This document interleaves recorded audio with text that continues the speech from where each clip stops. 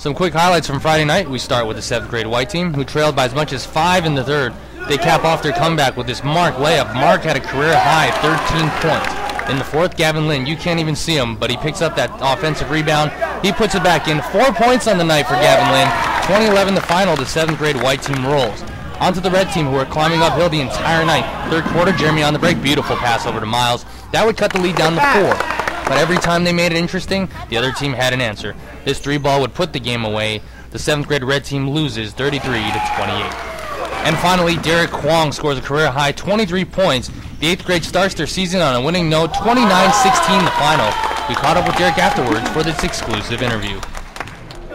How does it feel to be 1-0? Good. Why did you say yes after you scored your last basket? New career high. Tell, tell me why you guys played so well today. I don't know. Okay.